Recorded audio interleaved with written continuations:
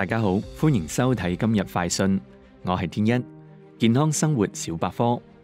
安全系厨房里边嘅头等大事。不粘锅作为常用嘅烹饪工具，系煎蛋、烹饪早餐嘅最佳拍档。但近年嚟，有关于不粘锅嘅安全性讨论正在越演越烈。究竟不粘锅系咪真系安全？乜嘢情况下最容易产生致癌物？点样先可以延长不粘锅嘅寿命呢？目前不粘锅嘅涂层主要系杜邦公司生产嘅特氟龙。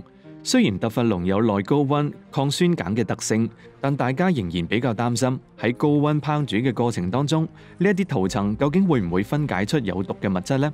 正常嘅烹饪系唔会噶，喺摄氏二百六十度以下，特氟龙都系保持稳定。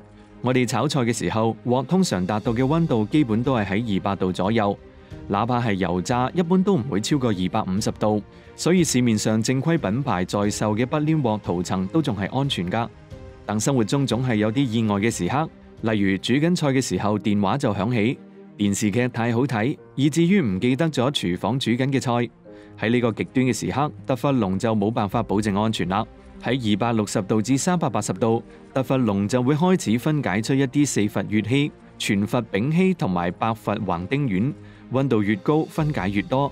三百六十至四百度以上分解量增大，四百七十五度以上嘅时候，分解嘅产物会有极少量剧毒嘅全佛二丁烯。而不粘锅喺空烧嘅时候，就好快能够达到三百四十八度，涂层就开始分解出有毒嘅物质，人体吸入后就会出现类似感冒嘅症状，聚合物烟雾热。严重嘅就会引起毒发反应，例如肺水肿、肺炎等。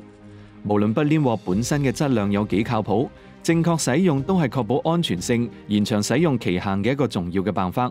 而核心就系通过各种嘅办法保护不黏锅嘅涂层。添一小贴士：一唔好空烧嘅镬；二唔好过热使用；三唔好用金属铲；四唔好用钢丝球去洗锅；清洗嘅时候要轻柔。五唔好用冻水直接去冲洗个热锅。另外，如果真系唔小心唔记得关火，导致烟雾弥漫嘅时候，记得第一时间去关火，打开窗口同埋抽油烟机透风，尽快咁样离开厨房。而经过咗超高温以后嘅不粘锅，天一建议最好都系唔好用啦。